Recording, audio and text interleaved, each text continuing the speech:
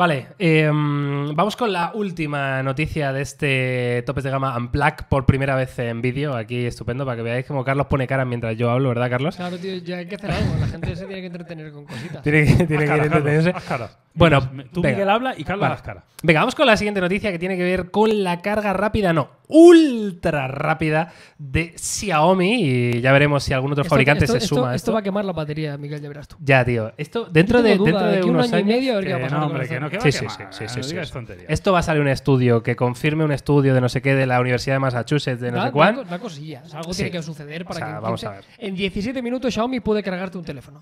En 17 minutos. En 17 minutos. Yo no me da, o sea, o sea, te duchas y te o sea, no te da tiempo a ducharte y tomarte un café y tienes el teléfono a full. O sea que es fantástico y es un sueño húmedo, pero a mí me sorprende. Ojo que no llegue alguien y lo saque antes que Xiaomi. ¿Tú crees? Pestañea dos veces. sí, es que sí. Oye, yo me estoy cansando ya de, la, de toda la información que tiene Yauma, tío, y no puede Ya, decir tío, nada. no Llama al pestañas. El pestaña. pestañas, Además es que Además tienes. tengo buenas pestañas. Eso te iba a decir, Sí, tienes no, como pestaña larga, ¿eh? Pero Es verdad, pestaña Para que de. veáis qué pestañas tengo. ¿Te has hecho algo en las pestañas? No, no, no, son así. Pero ponte de perfil, que con el blanco de fondo se te. Mira, mira, mira, mira, mira, mira. No, no, un poquito más a- Tiene más pestañas que tu pe. Ahí, quieto. No, no, no, un poquito más atrás. Un poquito más. Ahí, ahí, ahí. Perfecto. Ahora. Uh, Uf. Justo tú, ¿eh? ¡Qué viento! Esto, esto- ahora mismo en las Maldivas hay un huracán por mis. Claro, eh, hay un de esto que dicen que cuando aletea una mariposa en el Pacífico hay un mariposa, ¿no? Pues aquí con las pestañas de, de llama.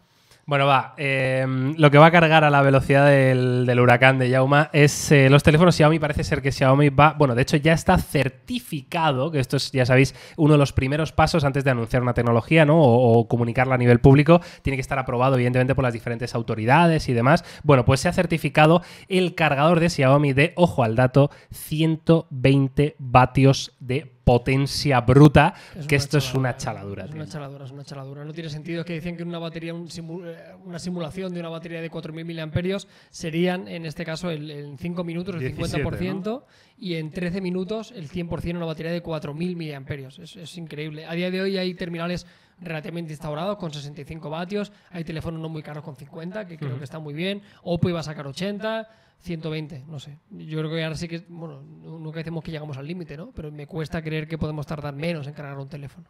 Es una, es una auténtica barbaridad. Como estáis viendo aquí, eh, esta información la sacamos de, de fonarena.com. Estáis viendo ya algunas imágenes de este cargador, ¿no? que es lo que se ha filtrado. En estas imágenes probablemente no lo podáis leer, de hecho yo ni yo lo leo, pero entiendo que ahí es donde pone Saldrá lo un de los 100 por ahí o vatios, ¿no? 120, ¿no? Sale la información como técnica del cargador. Ya sabéis que en todos los cargadores suele, suele estar esta información, eh, digamos, impresa y aparte de algunas letras chinas, pues pondrá los, los amperios, los vatios y toda la información específica y técnica. Y ahí es de donde sale la, la filtración, ¿no? Y hemos podido ver esto, pero la verdad que es una auténtica locura el poder llegar a esto.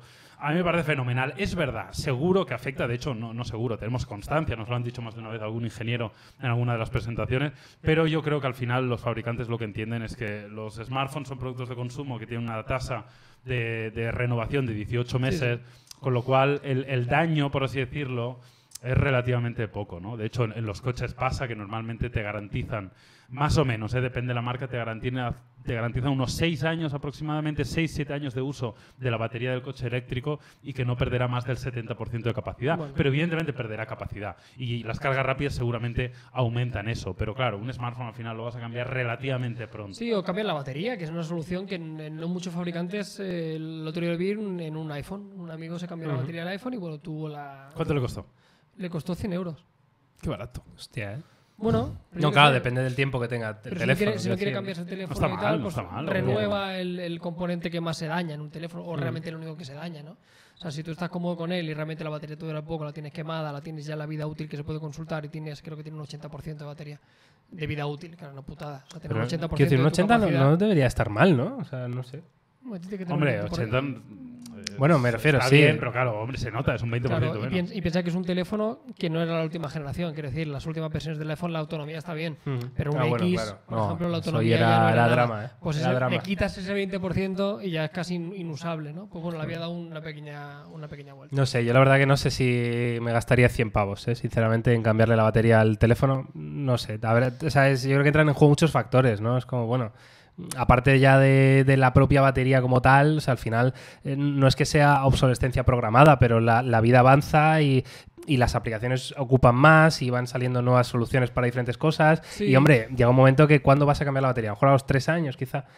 Te vas a gastar 100 euros con, con expectativa de, de- de cuánto tiempo más, ¿sabes? Ya, para que hay gente que. Es que nosotros, yo sigo diciendo muchas veces que tenemos una visión muy viciada de la tecnología. No sé, tío. O sea, yo me voy fijando en el metro y hay gente que lleva teléfonos muy antiguos, lógicamente. Sí, no, O sea, claro. que lleva, lleva teléfonos, o los estiran hasta que, o sea, hasta que revienta. También te digo que mucha de esa gente, que esto es un problema que yo he vivido como vendedor de móviles, mucha de esa gente no llevan un teléfono antiguo porque no tengan dinero, sino porque se han comprado un teléfono caro y se les ha caído al suelo y se les ha reventado y tienen que reutilizar el, el antiguo, ¿no? Os imagináis la cantidad de gente que rompe su teléfono nuevo, tío.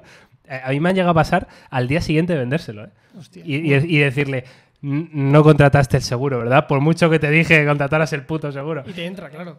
Sea, este- el seguro lo cubre. Hombre, la claro, claro que cubre ese tipo de cosas, por supuesto. Para eso está, ¿no? Eh, claro. Tú pagas- claro, la gente, no, si yo lo cuido bien, si yo lo cuido bien. Sí, sí. Y venía al día siguiente con un, con unos- un, un conjunto ahí de cristalitos rotos que decía, madre mía, chico.